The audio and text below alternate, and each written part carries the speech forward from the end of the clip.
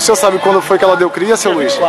E como é que tá aí? O pessoal vem e traz comida para ela? Da igreja traz comida para ela, bota comida para ela e ela come e fica aí. Bota água para ela. O senhor sabe quantos filhotinhos ela teve? Sete.